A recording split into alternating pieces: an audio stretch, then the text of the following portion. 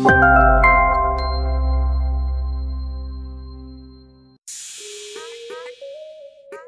Assalamualaikum, selamat pagi guys. Apa kabarnya nih? Semoga dalam keadaan sehat selalu ya. Ketemu lagi dengan Heru Setiaji dalam acara review-review. Produk apa yang akan aku review? Tonton sampai habis.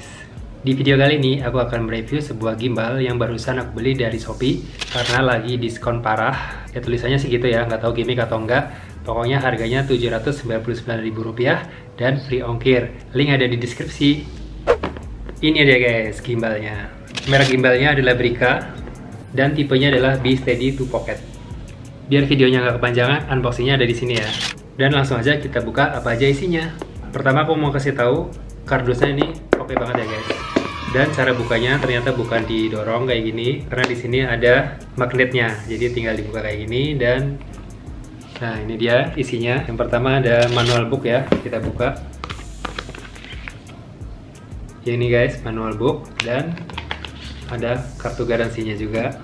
Yang kedua kita dapat kantong juga. Ini kalau mau dibawa ke mana-mana tinggal dimasukin ke kantong jadi tidak perlu bawa kardusnya. Terus selanjutnya ada kabel USB Type C ya. Jadi sama kayak HP jadi kalau hilang bisa pakai charger HP juga. Nah yang selanjutnya ada tripod ya kayak gini jadi kita bisa taruh atau bisa buat genggam kayak gini biar lebih panjang ya jadi kayak tongsis gitu dan yang terakhir ada unit gimbalnya ini deh guys unit gimbalnya kecil banget ya guys. Jadi kalau di sini dimensinya kalau dilipat cuma 15 cm aja. Jadi praktis banget. Ini oke okay banget ya guys karena ada kardus tebalnya. Walaupun tebal kokoh tapi dia tetap empuk guys. Jadi bisa melindungi uh, gimbal kita dalam proses pengirimannya. Mantap banget. Oke, okay, sebelum aku otak-atik, aku mau baca buku petunjuknya dulu biar tidak salah.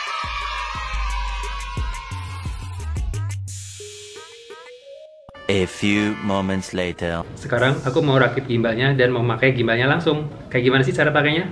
Gampang aja guys. Kita tinggal buka kayak gini ya guys. Nah kayak gini. Ini masih dalam keadaan mati ya guys. Belum aku hidupin, masih mati ya. Nah biar gampang kita pasang tripodnya dulu. Tinggal diputar aja sampai kencang. Kayak gini aja guys. Lalu kita buka kayak gini. Jadi tripod. Ini dia guys penampakannya ya, gimbalnya. Nah, di sini ada tombol power ya. Nah, untuk menghidupkan tinggal tekan tombol power selama beberapa detik ya, guys. Kayak gini. Nah, ini artinya udah hidup. Lampu indikatornya juga udah nyala ya. Ini powernya artinya full ya. Jadi begitu dibuka ini udah isi ya baterainya. Kayak gini. Nah, tombol di sebelahnya ini untuk mengganti modenya ya. Karena di sini disediakan beberapa mode, artinya mode engsel-engsel ini ya. Dan yang ini adalah tombol joysticknya ya untuk mengatur arah dari kameranya. Bisa naik, nah ini naik bisa turun bisa ke kanan bisa ke kiri kayak gini. Oke, okay, dan kalau ini adalah tombol untuk zoom in dan zoom out ya guys. Untuk memperbesar dan memperkecil Dan di belakang ada tombol juga ya guys. Ini tombol shutter Pencet satu kali untuk mengambil foto dan video gitu ya Untuk memulai rekam. Pencet dua kali untuk mempause Pencet tiga kali untuk screenshot video ya. Dan tombol-tombol ini seperti shutter, zoom, itu berfungsi jika kita pakai aplikasi kamera dari Brikanya ya guys. Jadi kalau pakai kamera HP, nggak pakai kamera aplikasi Brika, itu tombol-tombol yang ini tidak berfungsi ya guys. Oke selanjutnya kita setting aja kalau pakai HP kayak gimana. Ini dia guys, HP ku HP Samsung ya.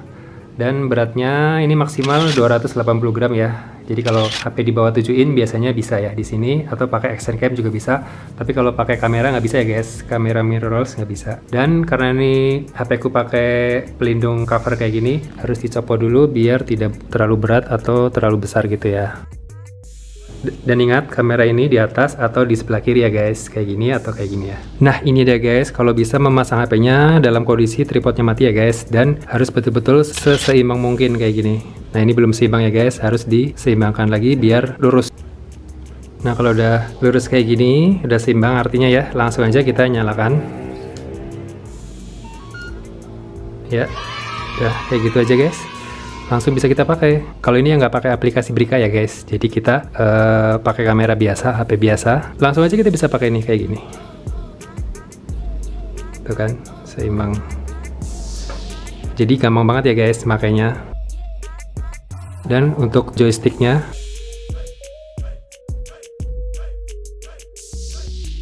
bisa dipakai ya.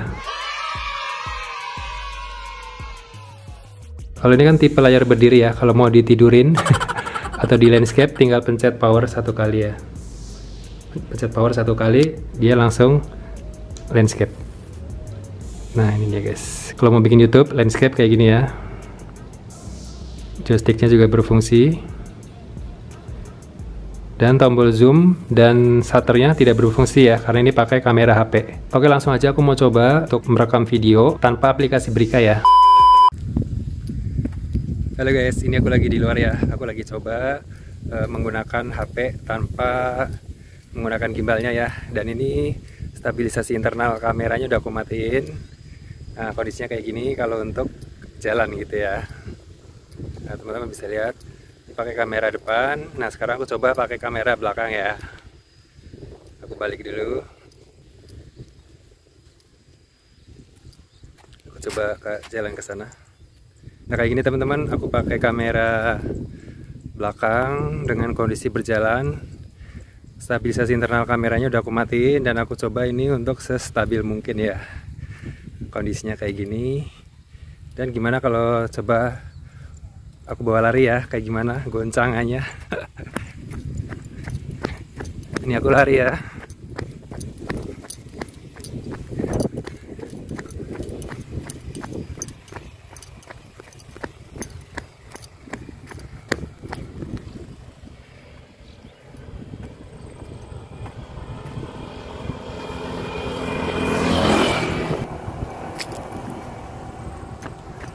Aku lari kayak gini goncang banget gak sih?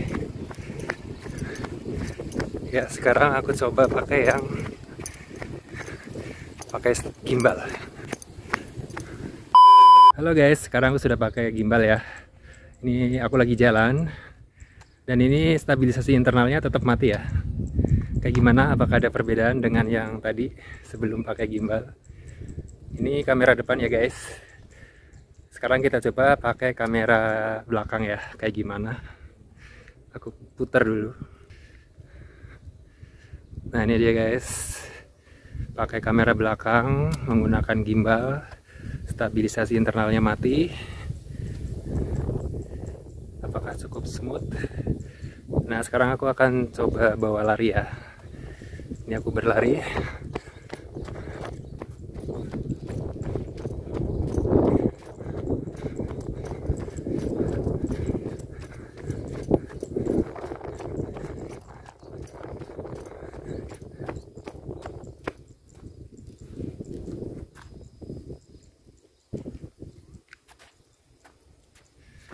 ini aku berlari lagi. Apakah goncangannya beda?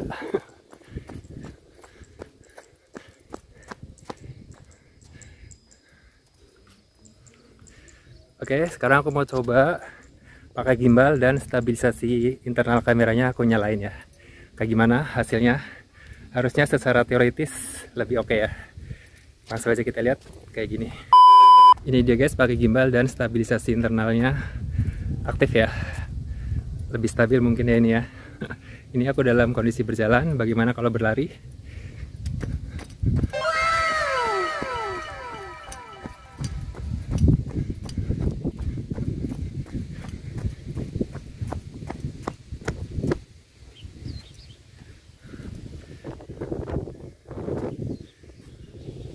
ini dia guys pakai gimbal dan stabilisasi internalnya aktif ya.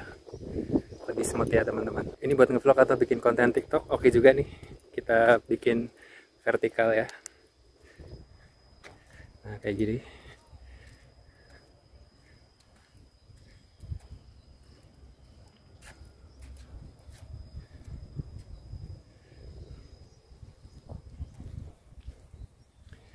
Pakai kamera depan.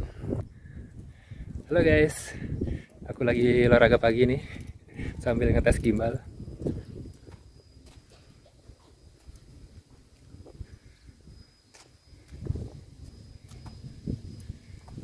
Oke guys, mungkin kayak gitu ya uji coba gimbalnya buat ngonten, ngevlog atau bikin TikTok gitu ya. Oke juga nih. Buat yang mau beli, link ada di deskripsi ya. Nah, teman-teman juga bisa pakai aplikasi kamera yang dari Brikanya ya. Kita download dulu ya aplikasinya. Kebetulan aku udah download. Nah, ini dia. Ada Be Steady. ada di Play Store gitu ya. Dan ini pakai Bluetooth ya guys. Ini dia pakai Bluetooth. Sudah connected dan langsung aja kita enter kamera ya tentu saja karena kita kan paling rekam-rekam sama foto gitu ya. Nah kalau ini pakai kamera dari aplikasi ya guys. Oleh sebab itu tombol zoomnya berfungsi nih. Tuh dia berfungsi ya guys. Ini aku zoom. Aku zoom out. Dan tombol shutternya juga berfungsi. Aku pencet nih satu kali. Nah dia ngambil foto ya. Terus gimana kalau mau rekam video? Nah pencet aja sini. Di sini ada tulisan take foto video atau vlog ya. Atau kita pencet tombol ini aja dua kali powernya. Klik klik gitu. Nah ini sudah berganti ke mode video. Aku klik dua kali lagi Nah, dia berganti ke mode foto lagi. Misalnya mau ngambil video, kita klik dua kali. Nah ini udah mode video. Nah untuk mulai merekam bisa kita pencet tombol shutter yang ada di belakang sini ya. Jadi praktis nih aku pencet ya tombol shutter yang di belakang. Nah dia sudah merekam video nih guys. Nah jadi gampang banget ya guys mengoperasikannya. Dan ada satu fitur lagi yang menjadi keunggulan dari gimbal ini adalah face tracking ya. Jadi kita bisa kunci wajah kita tapi hanya bisa dipakai kalau pakai kamera dari aplikasinya ya guys. Nah sekarang aku mau coba pakai face trackingnya ya guys kita sudah di mode video ya lalu kita pencet ini aja